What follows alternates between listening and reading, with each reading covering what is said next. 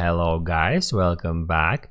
In this video I'm going to show you how you can easily enable or disable share across devices feature on your iPhone. Be sure to watch the video to the very end so you don't make any mistakes and of course do not forget to like this video and subscribe to my channel. So let's begin and uh, first open up settings. Then get into screen time and then just uh, scroll down for a bit.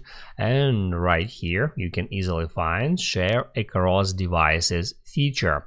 You can enable this on any device signed into your iCloud to report your combined screen time. If you want to enable this feature it's enabled actually by default. You should hit right here at that switcher to turn it on.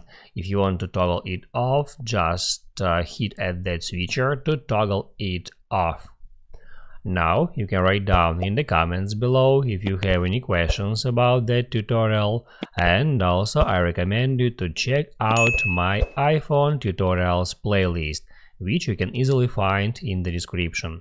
Hit the like button if you like that video and I see you in the next one.